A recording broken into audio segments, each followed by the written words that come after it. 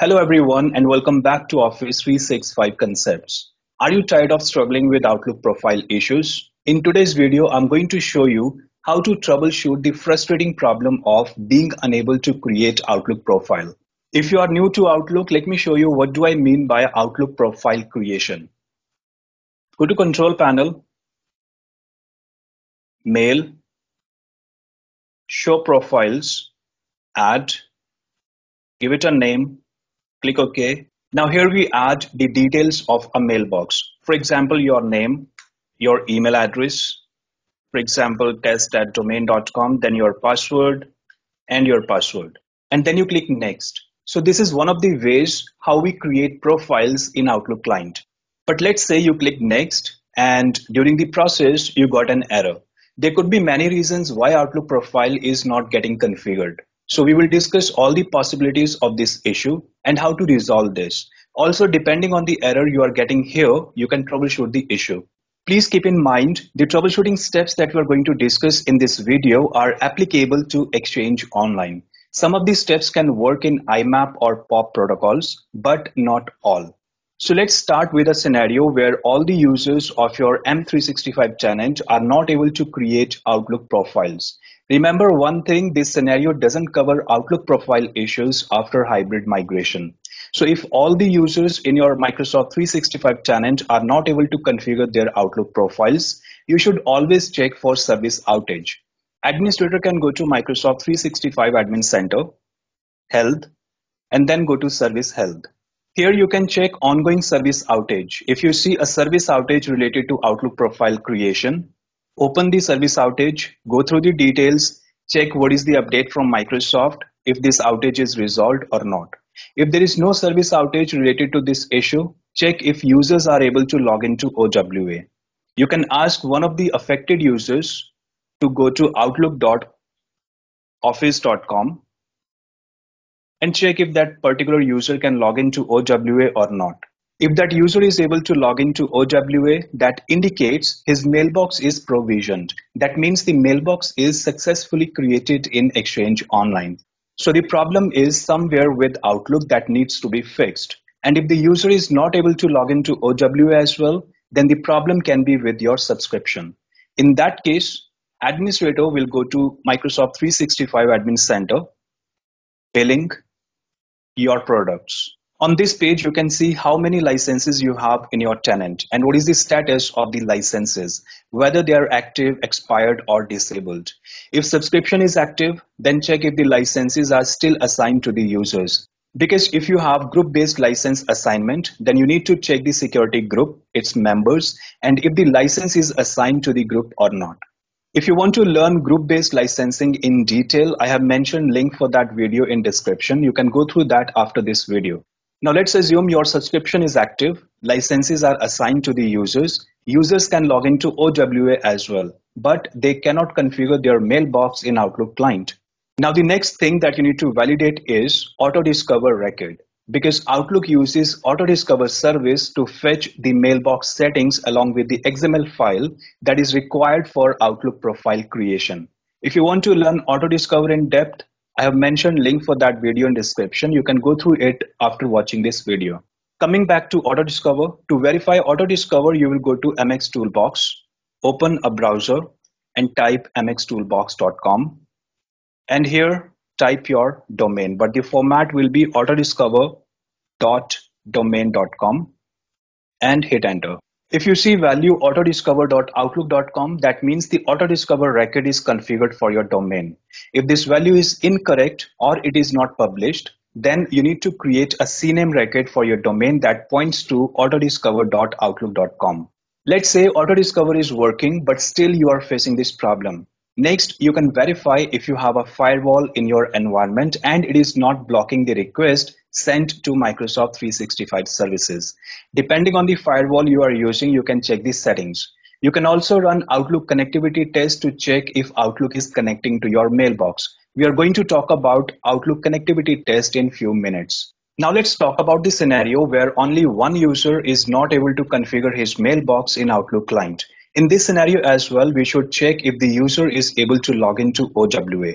So you can ask the user to go to outlook.office.com, and check if that user can log into OWA or not.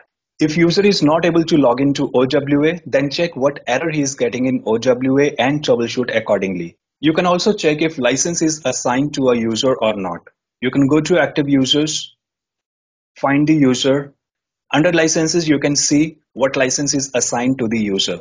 And if the user can log into OWA, then the problem is only with Outlook. So in that case, the first step should be Microsoft Support and Recovery Assistant. But before you use this tool, always check if user is a migrated user or it is hosted in Exchange Online. The reason for this check is if you have Exchange Hybrid deployed and the user is migrated from on-premises, then SARA tool will give you CNAME record error. Because in Exchange Hybrid deployment, CNAME record is always pointed to on-premises. If you want to learn how to install and use SARA tool, I have mentioned a link for that video in description. So once you have installed SARA tool, open it, select Outlook, go next, and select I need help setting up my Office 365 email in Outlook. Click Next. Make sure you are running this tool on the affected machine. Click Yes, where it says, is this the affected machine? Go Next. Here you will enter the username and password of the affected user and follow the instructions. Most of the time, this tool creates Outlook profile or it will give you the reasons why profile is not getting configured. So based on the instructions provided by this tool, you can narrow down the issue.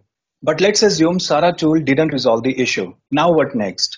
Next, you can check if Outlook client is getting connected to the mailbox. And to verify this, you will go to browser, go to EXRCA, which is Microsoft Remote Connectivity Analyzer.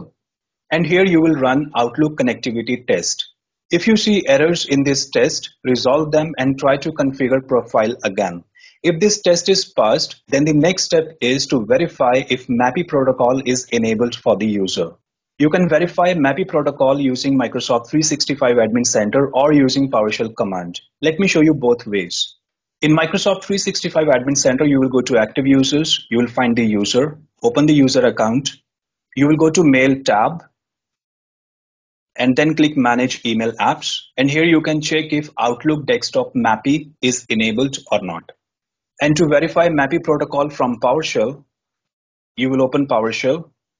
We will connect to Exchange Online.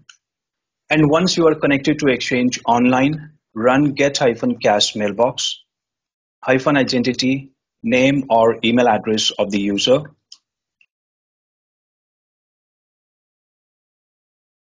Pipe FL and look for MAPI attribute. So here we can see MAPI enabled says true. That means MAPI protocol is enabled for this user. If this value says false, in that case, MAPI protocol will be disabled for this user. So you need to enable it. But let's say MAPI protocol is already enabled for this user, but still he is not able to configure his profile in Outlook client.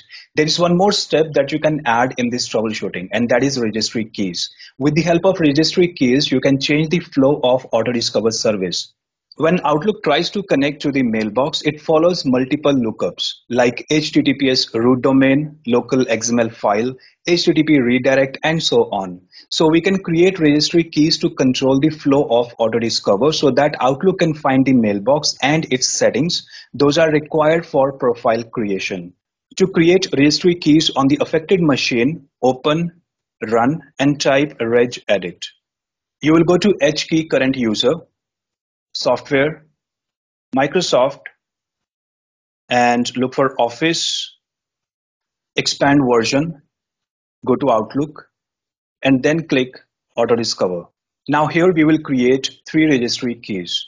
Right click, new, click dword 32-bit value, and we will give it a name exclude scp lookup, and we will give it a value 1 Click OK. Create new dword 32-bit value. This will be exclude HTTPS root domain. Value will be 1. Click OK. And we will create one more registry key dword 32-bit value and this will be exclude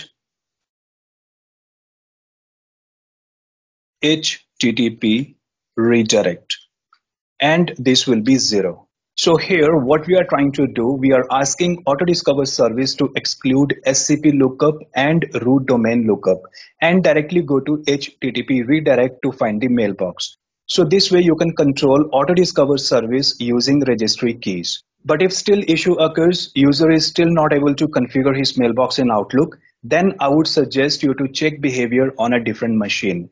If you found the problem is because of the Office suite, you can perform online repair. And to do online repair, you will go to Control Panel, Programs and Features, select Microsoft 365 Apps for Business, click Change, and click Online Repair. Click Repair and click Repair again. So this way you can repair Office Suite online.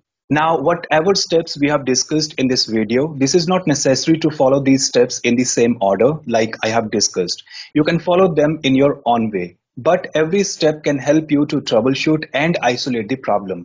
I hope this video was helpful for you. If you have any questions or need further assistance, feel free to leave a comment down below and don't forget to like this video and subscribe to our channel for more helpful content. Thanks for watching. I'll see you in the next video.